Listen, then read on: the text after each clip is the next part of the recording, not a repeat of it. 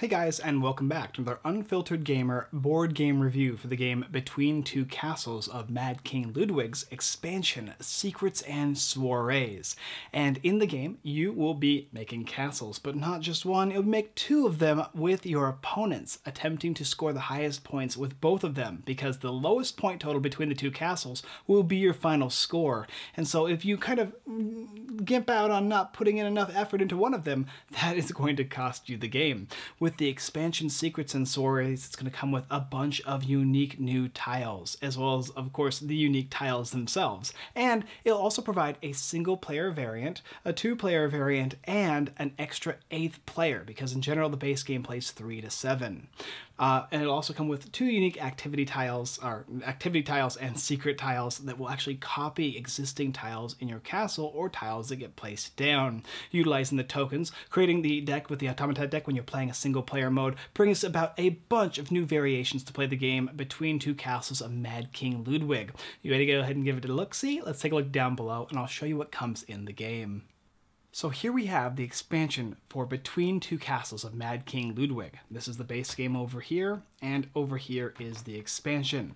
The expansion content is going to give you additional new player aids that have both front and backs on them, and they're larger to represent the unique new rooms and bonuses you'll be getting.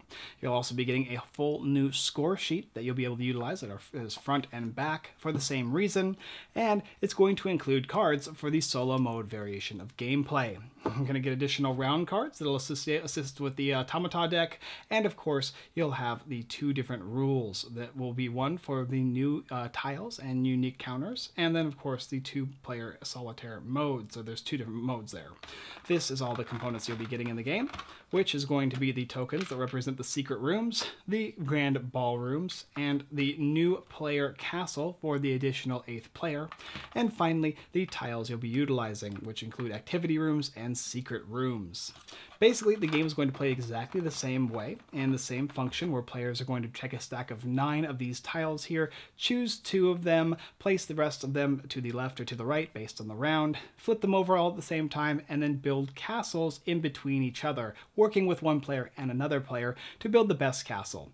Once you go through all nine car cards by doing a draft, or tiles by doing a draft, you're going to go the opposite way, and then whoever has the most points between the two castles that they have will be the winner. 90 points, 80 points, 80 points is your score. Does anybody else have higher than 80? No, you win. If there's a tie, then 90 is the tiebreaker.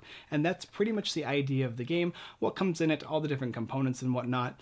Um, basically, it all assists together. You can kind of attach them together to create, create a larger formulaic system of the game. But anyway, you get the idea. Let's come up and review the game. And of course, if you want to learn more about how to play the game, check out my first video right here. So let's talk about the expansion and what comes in the game of Between Two Castles of Mad King Ludwig, the Secrets and Soiree expansion? Well, there's the activity tiles, which means you're going to have tiles that are placed adjacent to them, and as long as they aren't a specific tile, they'll score you one point for each up, down, left, and right tile. However, if any of the tiles they don't want are next to them, that whole tile scores you one point. The secret tiles are tiles that you can copy another tile with and provides a load of different unique strategies. Personally for me, I like attaching them to the painting tiles uh, that also have the same painting that they require and need attached to them. So if you have a tile looking for swords in, in a certain area, you can put another secret tile next to it that has a sword and so they both score points with each other and you can net a huge amount of points in doing so. Uh, additionally, the game comes with a solo mode variant which also comes with solo mode cards. So for those of you solo mode players out there, this game is going to allow you to do that when you include the expansion with it. Uh, nice thing about the game too is of course the larger cards that will basically assist you in playing the game, and of course the ballrooms. Ballrooms are super cool because you'll be able to, when you complete the activity tiles in the castle, you can go ahead and place the ballroom out after drawing a certain number of them, and they will reflect opponents' castles that are adjacent to your castle, potentially scoring you even more points than a normal castle uh, tile, special tile could, which is uh, an excellent way to play the game in combination with how other players are playing the game.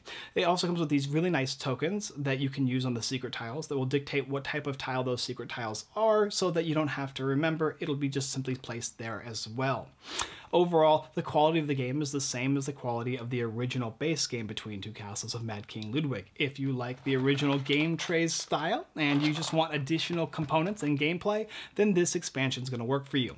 If you need a solo mode game uh, for the base game that you already picked up, or you want to play with the two-player mode, you can do so as well. Or let's say that you have an extra eighth player, then the expansions as well, very good for you.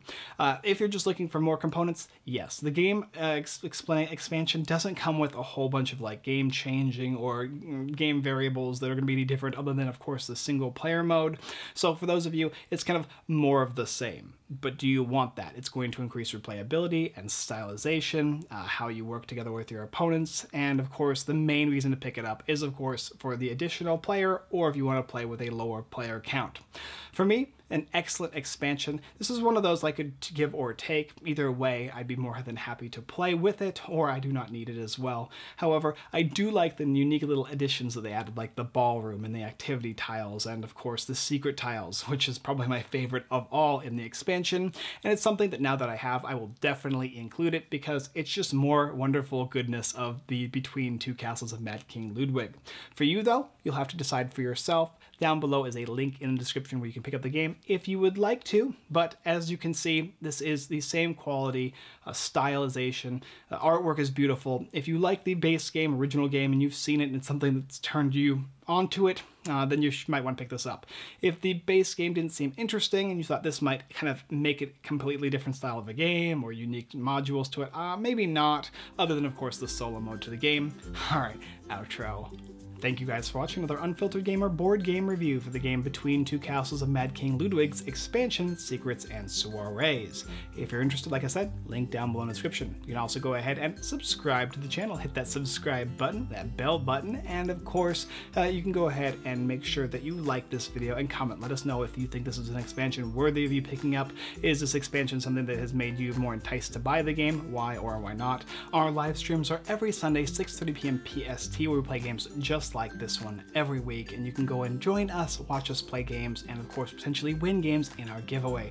Thank you so much, Patreon members. Appreciate it, you Discord people out there who are watching and commenting on the Discord, and those Moonshell backers will have some new information for you shortly as well.